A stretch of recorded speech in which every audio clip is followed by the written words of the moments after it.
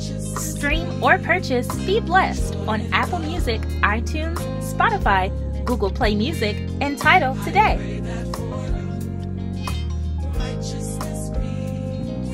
Good evening and welcome to Virtual Wednesdays. I'm Minister Annette.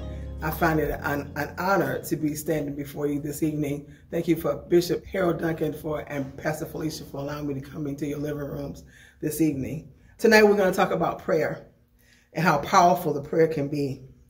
In a 24-hour cycle, we are no strangers to tragedy. One disaster strikes, then another swiftly takes its place. In the headlines, and people come calmly respond uh, with the comments like, hmm, I thought prayer would work. But lately, people have been questioning whether prayer is actually much help at all. We have been, we love being able to fix problems on our own power, but we often forget where our true source of power comes from, and it comes from God. Prayer is never the last resort. Prayer is our first line of defense we don't realize the power of prayer has to change circumstances, and we often forget that sometimes the greatest power of prayer is the change of our own hearts and perspective. prayer reminds us that we are not in control, but that we serve a God who is in control. Prayer allows us to surrender our own worries and align our hearts with God's and practice depending on God. Prayer also changes us. It encourages us and sometimes it challenges us to be the answers to the prayers that we pray.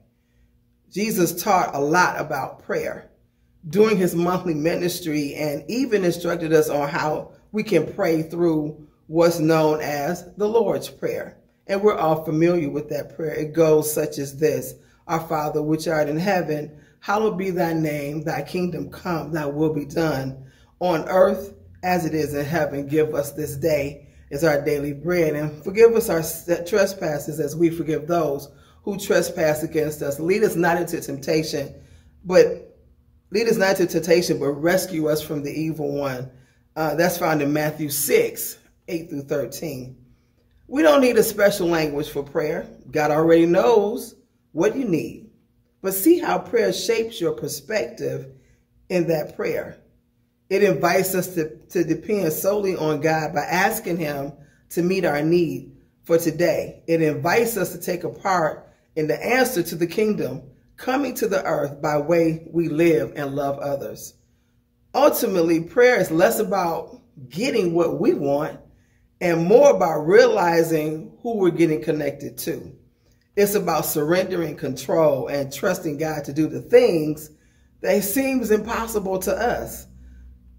And God sometimes often, and it's sometimes to do often because it's such a privilege to get to talk to God, the creator of the universe. And we don't just pray for something once. Jesus instructed us to keep on praying until we get an answer. And we know that the power that we know that the prayer of a righteous person is powerful. Yes, our prayers do matter. They move the heart of God. They have the power to change circumstances. And above that, they always change us. The our power is limited, but God's power is limitless. So we pray. We ask God to move, to intervene, to act. And when we feel prompted to, to be an answer to a prayer by meeting a need for someone else, we take action, knowing that it is God who is at work and not us. Speaking to the God who listens. Some time ago, I was given a word that God is going to watch over me and take care of me and um, bless me with my heart's desire. After that day, two days later, my daughter had a heart attack. And then in that same week, my house was shot up. So I know the power of prayer kept us alive. My daughter is doing well and fine. She had a stent, a stent put in and she's doing well. My house was beat up, but no one was hurt. So I know that the power of prayer and praying and ask, and speaking to God for the future things to come. Because our prayers that we pray for right now don't always happen for us right now, but it can speak a word into the future things to come because only God knows what's ahead of us. The God of all grace, that's what the apostle Peter called him. That that word grace in the Greek means cherish. It means favor extended. It implies a gift or blessing, a loving kindness. It's where we find our English word charity. So God is this giver of all blessings, all gifts, all loving kindness, and all favor. He is the giver of everything that is good and the one of the chief vehicles which comes through it which comes through it. It extends all grace to us through prayer. So, what is prayer? In the most basic terms possible, prayer is talking to God. It's a conversation between God and us. But as one Christian author put it, prayer for the Christian is not merely talking to God, but it's responding to the one who initiated it toward us in the first place. Yes, God speaks to us first, and it is our turn to initiate back to God with our prayers and supplications prayer for the, it's not merely talking to him just to get stuff, just to get things. I need a house, a car, a job. I need some money. I need this and I need that. It's actually, prayer is actually to get in communication with God, to get in communion with God. That is our other part of our worship is our prayer. Is where we commune with God when we have a conversation with God. It's like you go to your friend or your husband or your wife and you have that intimacy. That's what prayer is between you and God. It's that intimacy, getting to know who God is, not just what he can do for you. He, he speaks to us first. So we listen when he speaks to us first. He's not only just listening to us, but we need to listen for him as well. Uh, but in a, in a relationship, we draw from the presence of the God because he's not only speaking to us, but we're speaking to him and we can draw that, draw from that because his voice breaks the silence. In prayer, we're speaking to the one who has spoken to us through creation itself. Romans 1 and 20, Psalms 19, 1 through 4 speaks about the creation, how God has spoken through creation.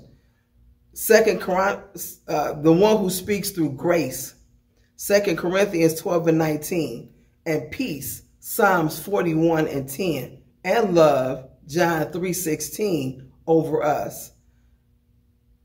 The one who has spoken the words of truth, John 6 and 68, and the life, John 10 10, who has shown us the way, John 14 and 6. In the light of this, prayer is thus a response a reflex to the grace that God has already given us. When we come before him in prayer, we speak to him so we can be sure that he has already spoken to us. Second Corinthians 1.20 declares, For all of God's promises have been fulfilled in Christ with a resounding yes, and through Christ our amen ascends to God for his glory. That's in the New Living Translation. Prayer is a two-way relational lifeline. A lifeline that is made available to us through the person and the work of, the, of God's Son, Jesus Christ, and in the presence of the Holy Spirit. Okay, so prayer is a conversation that God initiates. It's our response to God who hears us. He listens and accepts my prayer, Psalm 6 and 9. But when it, what is the grand purpose of prayer? God knows what I'm going to pray before I pray it. He knows my wants. He knows my needs. He knows my heart better than me. He knows my needs, my desires, my dreams, my fears, and every area of my life he knows. So why should I pray? It's not because we need to get anything from God but it's because we can actually get God himself. John Piper once wrote, It is not wrong to get God's gifts and to ask for them. Most prayers in the Bible are for the gifts of God, but ultimately, every gift should be desired because it shows us and brings us more of Him. Friends, in the simplest terms that I can minister, the purpose of our prayers is for us to experience more of God. In every request, in every expression, in every question, every pleading, every confession and revelation, everything we ask for or declare in prayer, the end game of the prayer is to know the deepest levels possible of the God that we serve, of the God who saves, of the God who sustains us, of the God who redeems and restores. God wants to sit, God wants to hear from you. In fact, God is ready to hear from you when you pray. Think about that. He wants to interact with you. His desires are more than just head knowledge or shadow, shadow, shallow, hypocritical relationship. The God of all grace wants to fill you with his grace beyond your ability to measure. Prayer is our life cycle. Ephesians 6 and 18 says, And pray in the Spirit and in all occasions with all kinds of prayers and requests. With this in mind, be alert and always keep on praying for all the Lord's people. With lifestyle influences on nearly every social media platform, the word lifestyle carries much more weight in our society today.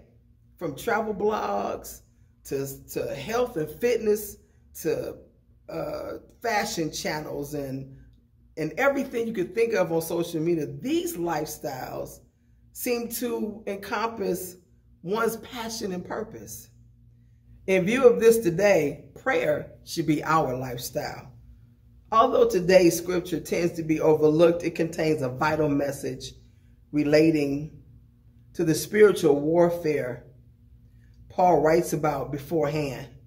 After urging his audience to equip themselves with the full armor of God, he implores them to pray consistently. Pray consistently. Pray consistently.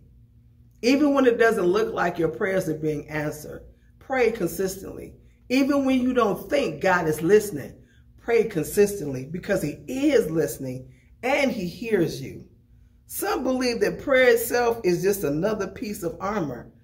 As Priscilla Shirer wrote in her Bible study, the armor of God, prayer is the mechanism that brings down the power of heaven into your experience, and it is divinely authorized method that activates your spiritual armor and make it effective. Prayer activates the full armor of God that we put on, and it makes us effective. Essentially, Paul was telling his readers that prayer should be a lifestyle, all in one verse. He emphasizes the four elements of a prayerful life. First, prayer involves the Spirit. Praying in the Spirit simply means that we pray with an attitude of submission and with a desire to remain in God's will, even when we feel weak and confused. This is the fruit of the Spirit working in our hearts, according to Romans 8 26 and 27. Two, prayer is not bound by time, situation, or nature. Paul specifically calls us to a prayer on all occasions with all kinds of prayers and requests, which means that there is nothing too big, nothing too small, nothing too long, and nothing too short to pray about that we can bring before the Lord. He is always available to hear and to speak. When you wake up, as you drive, when you're in a meeting, before a meal, after your meal, in the middle of a conversation, at any time, at all times, in anything and in everything, with everything. These prayers can be as simple as thank you, Lord, help me, Lord, bless me, Lord, bless them, or as deep as getting on your knees and your hands and laying on your face and praying over them. Prayer is not reserved for meals, bedtime, or church. It should become constant and ever present. Open dialogue with the Father. As you were living every walk, as you were living every walking, waking moment on the phone line with God, never hanging up or disconnecting the line. Third, prayer is a strategy. Paul stresses and uses prayer in so many of his letters because he knows prayer is a strategy God specifically equipped us with to combat the enemy's deceitful schemes while also drawing us close to him. In fact, God gave us some 650 prayers in the Bible to learn to follow from. Wow, imagine if you could pray 650 prayers in that year, how much closer would you be to God? Prayer and four, prayer requires intentionality. Lastly, Paul's words towards the end of the verse where he says, with this mind, be alert. Always keep on praying compels us to keep the truth about prayer's importance. The power at the forefront of our minds is so that we can make prayer a conscious decision and effectually a healthy habit. Therefore, we may strive to live a lifestyle of prayer because we only acknowledge prayer's power, understand its necessity, and value it as a gift from our gracious Father, that we will be able to draw closer to Him and truly live our God given person. Thank you, Father, for being able to pray to you. Thank you, Father, for listening to us. Thank you for hearing us. Thank you, oh God, that you abide in our presence, oh God, where we don't have to go anywhere else but into the throne room of grace to pray unto you. Thank you, Father, for that opportunity. In Jesus' name, amen. This concludes my worship on prayer. We also have another way of worshiping here at the Life, which is uh, our giving. And we can give those funds by coming on, doing Givelify online, which is a wonderful app to have on your phone at any time you want to give a little or a lot. You can use Givelify. If you're feeling comfortable with the electronics, you can always come down to the office Tuesday through Friday, and, and our office staff will be gladly to take your um, offering and your uh, tithes. Also, you can mail it in to the, uh, to the church at 25210 Grand River in Redford, Michigan. We thank you and have a good night.